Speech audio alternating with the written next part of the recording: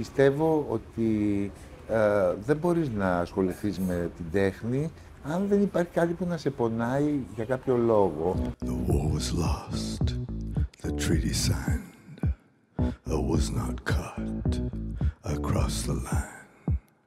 I was not caught, though many tried. I live among you, well disguised. I had a name,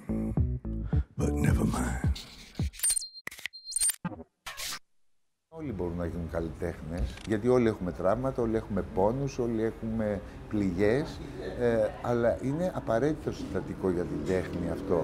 Και επίσης και αυτή η αγωνία. Όλοι ζούμε για κάποιο λόγο που κανείς μας δεν το ξέρει, φεύγουμε για κάποιο λόγο που κανείς δεν το ξέρει. Αυτό από μόνο του, δηλαδή η ύπαρξη έχει αυτό το κομικό τραγικό, το οποίο η τέχνη σου δίνει ένα καταφύγιο, να το διαχ... όπως και η θρησκεία, ε, σου δίνει ένα καταφύγιο να το διαχειριστείς.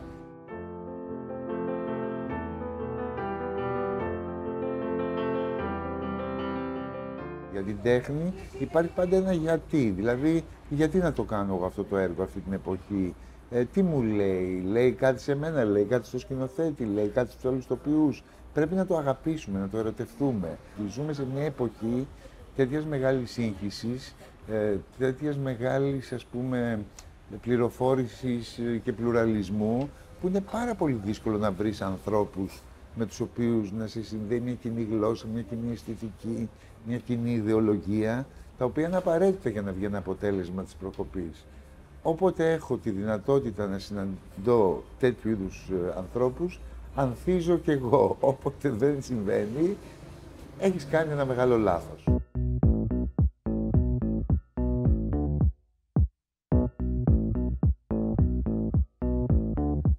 Τέλος του Μπέκετ που είναι το πιο πρόσφατο, ε, είχα την πολύ χαρά ας πούμε να το κάνω, διότι δεν είναι και πολύ εύκολο να κάνεις πεζά του Μπέκετ, υπάρχουν διάφοροι, διάφορες απαγορεύσεις. Ε, Είναι ένα ε, σπουδαίο κείμενο που γράφηκε το 1946 και με έναν περίεργο τρόπο ε, είναι σαν να μιλάει για το σήμερα. Ε, ο ήρωας είναι τόσο πολύ μόνος και αποξενωμένος που αυτό το κείμενο ενώ γράφτηκε πριν τόσα χρόνια ξαφνικά μιλάει για το σήμερα με έναν τόσο ποιητικό τρόπο που θεώρησα ευλογία ότι μπόρεσα να αρθρώσω τα λόγια αυτού του συγγραφέα, ο οποίος είναι από τους πολύ αγαπημένους μου ο Μπέκερ. Αύγουστος ήταν η βραδιά. Μόλις θυμούμαι πια τα μάτια. Εγώ δεν είχα πάει ποτέ στη ζωή μου στο θέατρο, ως τα 13 που πήγα και είδα τη Λαμπέτη ε, να παίζει ένα μπουλβάρ και όταν είδα αυτό το έργο, το οποίο πραγματικά δεν το έχω ξαναζήσει ποτέ από τότε, ε, νόμιζα ότι κράτησε τρία λεπτά και όταν τελείωσε απογοητεύτηκα και λέω καλά το θέατρο κρατάει μόνο τρία λεπτά. Στην τρίτη γυμνασίου πήγα στον Γκουν και είδα το όνειρο καλοκαιρινής νύχτας και εκεί πέρα για πρώτη φορά μια φωνή μέσα μου, παρόλο που ήμουν πολύ ντροπαλό και κλειστό άτομο, είπα θέλω κι εγώ να γίνω ηθοποιός. Ήταν η φάρη μου, ήταν η οδηγή μου, ήταν η πηξίδα μου. Με μια έννοια λοιπόν, τολμώ να πω ότι, όχι ότι πήρα ακριβώς μια σκητάλη, αλλά ότι ήταν τα πρότυπά μου, ήταν αυτοί που θαύμαζα, ήταν ε, το φως που με οδηγούσε. Και πολιτισμός, αυτό θα πει στην ουσία, ε, οι παλιότεροι να δείχνουν έναν δρόμο στους νεότερους. Εγώ δεν ξέρω αν το κάνω αυτό για τους νεότερους, παρόλο που όπως είπαμε είμαι 27-28 χρόνια δάσκαλος, αλλά πολλά παιδιά όταν ας πούμε ε, μου λένε ακόμα, ξέρω εγώ, με βοηθάει εκείνο που μου είχατε πει, μου δημιουργεί μια συγκίνηση και ότι δεν ήμουν τελείως άχρηστος στο πέρασμα από τη ζωή. 20 χρονών.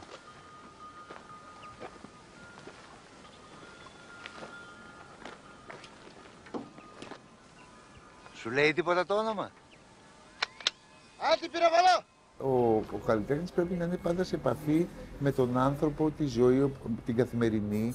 Δεν μπορεί ένας, ας πούμε, ηθοποιός, λέω τώρα από τη δική μου, ας πούμε, να μην συναναστρέφεται τους πιο απλούς ανθρώπους. Αυτό είναι το υλικό του. Να κάνει παρέα με τον οποιονδήποτε. Εμένα, ας πούμε, όταν κάνω ένα ρόλο, η μεγαλύτερη μου πηγή έμπνευσης είναι οι άνθρωποι που συναντάω καθημερινά στο καφενείο,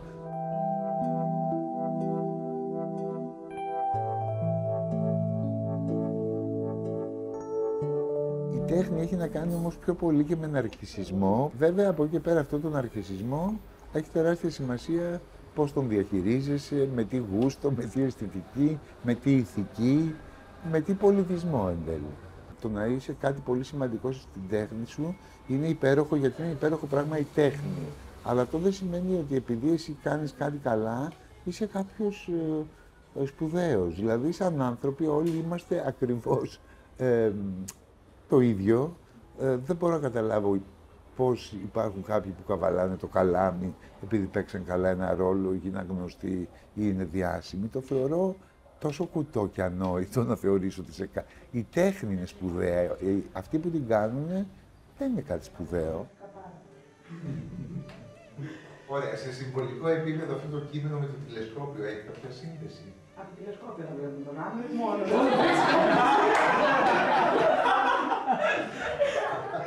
Επειδή εγώ τυχαίνει να είμαι και δάσκαλος εδώ και 25-27 χρόνια σε δραματικές σχολές ε, και βλέπω ας πούμε τα όνειρα, τις αγωνίες ε, πολλών γενιών τώρα ε, και πραγματικά ενώ βλέπεις ότι ένα νέο παιδί και πολλές φορές και πολύ ταλαντούχο κτλ.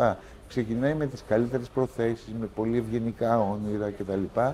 Έρχεται η πραγματικότητα του θεάτρου η οποία τα τελευταία δέκα χρόνια γίνεται όλο και πιο σκληρή. Ενώ υπάρχει όλος αυτός ο πλουραλισμός, άπειρες σκηνές, ε, γίνονται 3.000 παραστάσεις το χρόνο. Ε, επαγγελματικά είναι τα πράγματα και ειδικά για τους νεότερους όλο και πιο δύσκολα. Η ηθοποιία δεν είναι ένα ψώνιο που κάποιοι πρέπει να το εκμεταλλεύονται.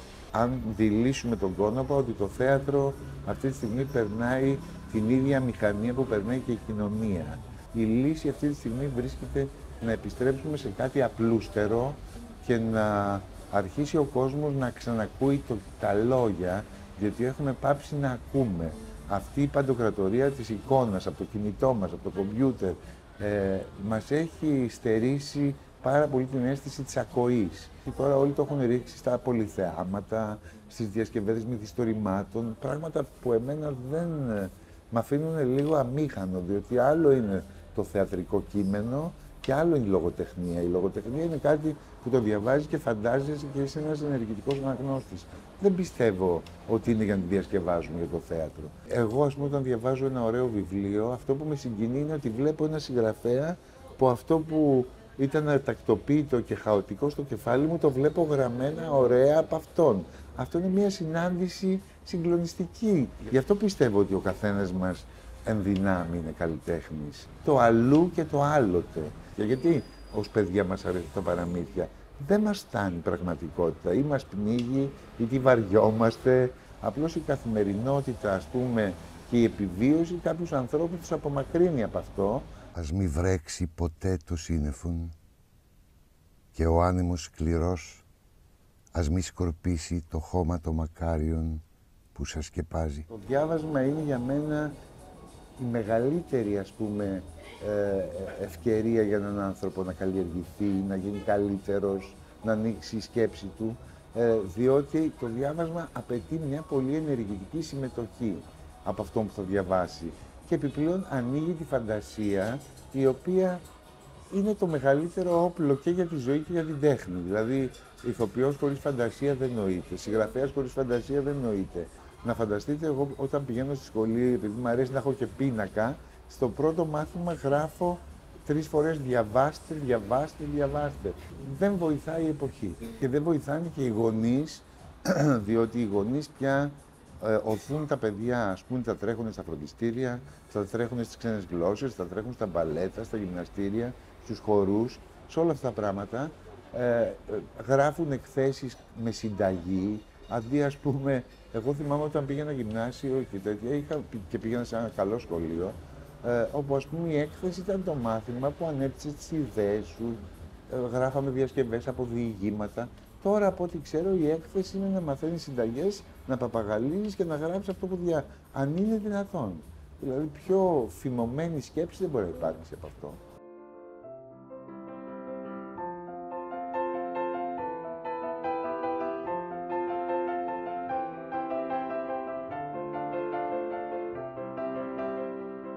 Σχεδόν 9 μηνών ζωγράφος, ούτε καν δεν έχω χρονίσει. Ε, είμαι αυτοδίδακτος τελείως και μ' αρέσει πολύ ε, αυτό το, τα χρώματα και μ' αρέσει πολύ που ας πούμε πειραματίζομαι από το α και αυτό ήταν μια τεράστια εκπλήξη που μου επιφύλαξε η ζωή στα 64.